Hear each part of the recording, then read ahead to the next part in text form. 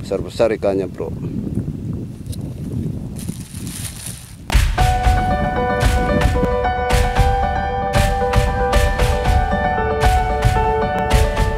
Hari ini bosku saya mau rencana memancing ikan blodog alias ikan belayar nah itu di belakang saya bosku. Ada tukang ahli mencari ikan blodog. Oke bosku, jangan ke mana-mana, kita saksikan terus bosku.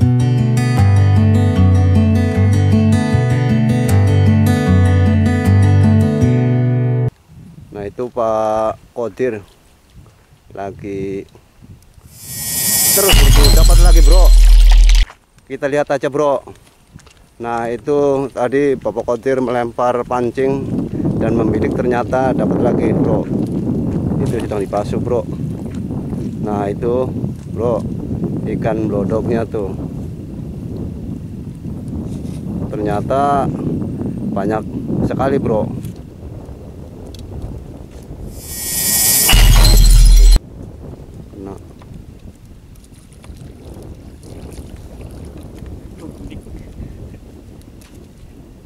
Dapat lagi bro. Tadi di sini dapat dua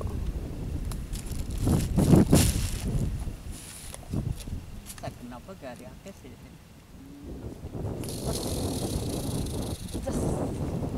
kita shot ya bro.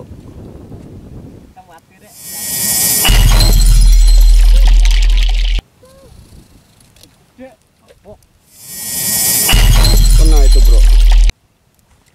Tuh bro baru kena tuh.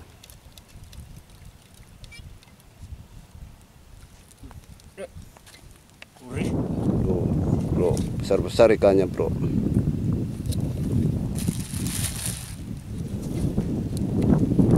sini aja. Udah dapat tiga bro.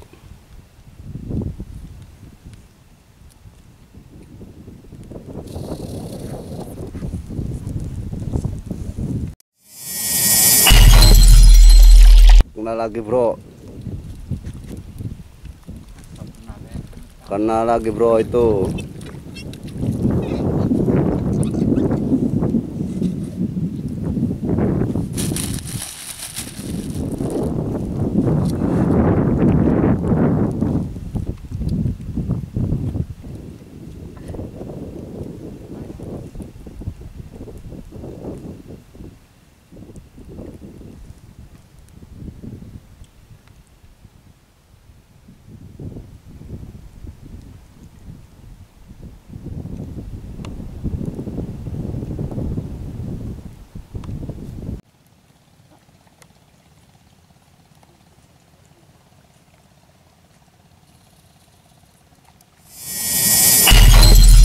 itu bro. Strike lagi bro. Kena.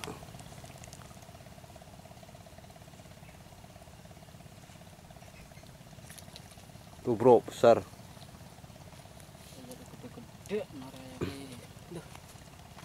Uh tuh yang segitu berapa satu kilonya Pak Kodir dua belas ribu. 12.000 ribu ya? Iya. Naik ikan ini bro. Ikan ini gurih bro. Ikan Ikan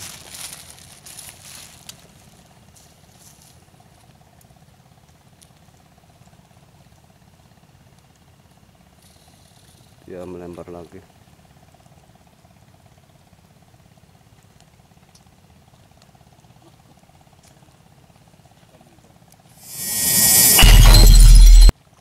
Terus strike lagi bro. Ah lepas cuman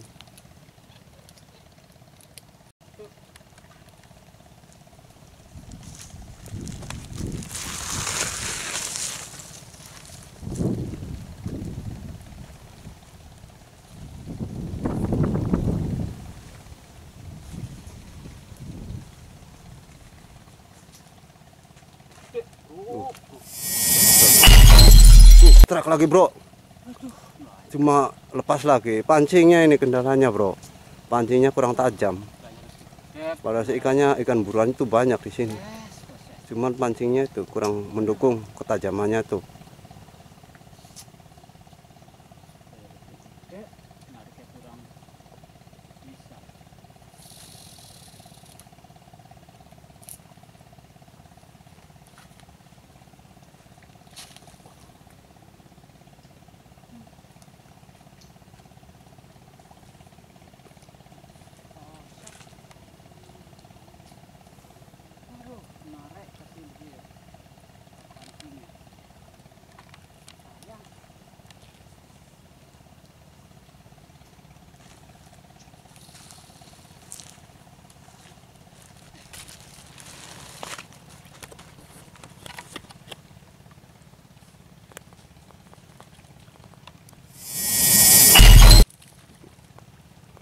Kena lagi bro. Cuma lari lagi.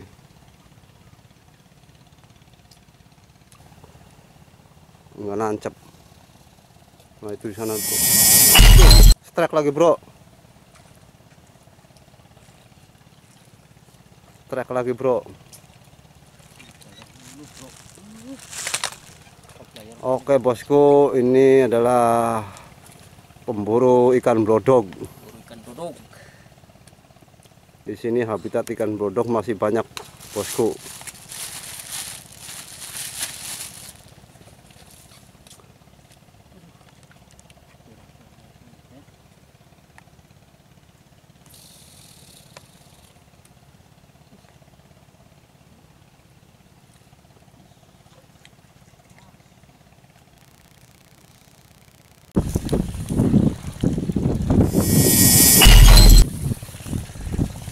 Itu bro. Dapat besar-besar bro ikannya.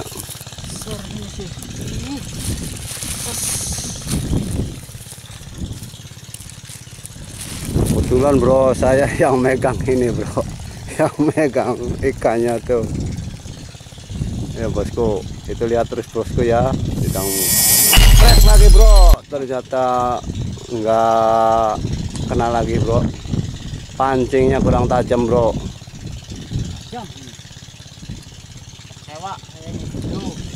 Ikan blodongnya sih besar-besar bro di sini. Cuman ya itu di kendalanya itu talinya kurang besar. Terus pancingnya kurang tajam.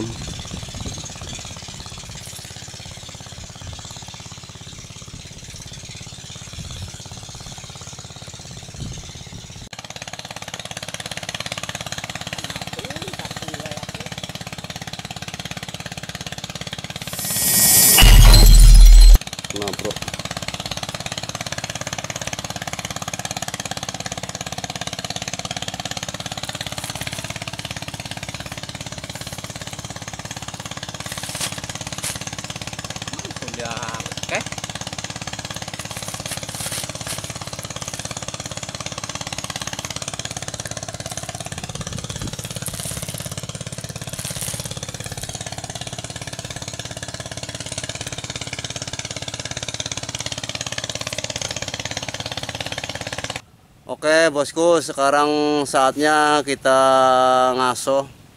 Itu tadi bosku, saya bersama Pak Kodir, pemburu glodok ikan blodok alias ikan belayar.